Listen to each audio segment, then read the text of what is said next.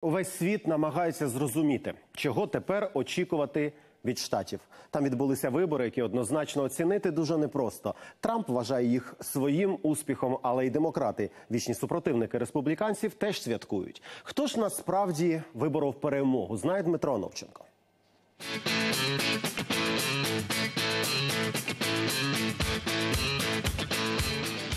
Щоб зрозуміти, як змінилися настрої американців, ми приїхали до Флориди, штату, який два роки тому фактично подарував Трампу перемогу. Адже тут 21 мільйон жителів, і це один з так званих swing states – територій, де думка виборців постійно змінюється, і ніколи не можна передбачити, кого наступного разу тут підтримають.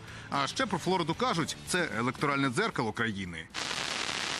Голоси рахують тут, у виборчій комісії, де і заходи безпеки, і правила суворі, у будівлі жодних зйомок, і лише зараз на прохання американського держдепу для преси роблять виняток. Ви здивуєтеся, але виборчком по-американськи це величезне приміщення із високими стелями, схоже більше на склад. І працювати тут починають задовго до дня голосування. Правила такі, що українцеві й повірити годі. Приміром, бланки для голосування на прохання виборців надсилають заздалегідь поштою, факсом або навіть імейлом. Надішлеш його назад, і твій голос зарахують. Е, Ці працівники саме й займаються опрацюванням бюлетенів, які в комісію поштою повернули. Ось машини, які сканують кожен конверт і бюлетень. І ми зберігаємо всі ці зображення, причому зберігаємо вічно. Це вам не Україна. Бюлетені із будь-якими позначками від руки тут дійсні. Сам документ 5-6 сторінок дрібним шрифтом. А якщо проголосував так, що галочки видно погано, члени комісії мають право за тебе його перезаповнити. Бюлетені у Флориді паперові до цього намагалися погнатися за модними тенденціями. Почали давати виборцям планшети, щоб проголосувати, та згодом відмовилися. Люди щасливі, що ми повернули паперові бюлетені, адже тепер є докази. Скільки вже було випадків, коли виникали сумніви в результатах виборів. Тоді ми надавали всі до єдиного папери, і виборці переконувалися: окей, більше жодних питань.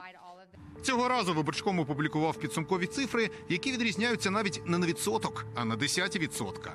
Політики з близького оточення Трампа, губернатор Флоріди Рік Скотт, балотуючись у Сенат, набрав 50,1%, тоді як його противник, демократ, 49,9%. Його наступник на цій посаді, теж республіканець Рон Де Сантіс, очолив сонячний штат, примігши з розривом всього в 0,4%. Соціологи кажуть, насправді це люди не за або проти своїх політиків голосували, а за чи проти Трампа висловлювалися. Його імені в бюлетенях немає, тільки партія і кандидати від неї. І люди партію влади за все, що президент зробив за два останні роки, або підтримують, або навпаки карають. Адже Трампа не покараєш. Флориду постійно хитає. Вісім років тут Обаму підтримували, потім Трампа. А зараз штат розділився. Місцева влада і представник у сенат республіканці. А от у нижню палату прийшло чимало демократів. У їхньому штабі нам кажуть, агітаторів і політтехнологів, яких набрали до цих виборів, і розпускати не будуть, бо вже за два роки сподіваються закріпити успіх.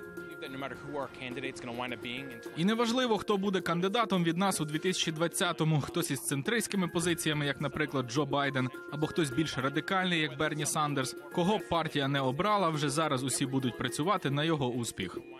Що саме зроблять противники Трампа, отримавши контроль над нижньою палатою конгресу, вони ще й самі не вирішили. Занадто мало часу минуло після виборів, але політологам їхній план загалом зрозумілий.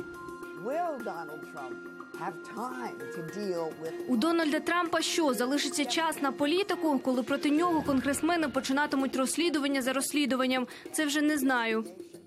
I.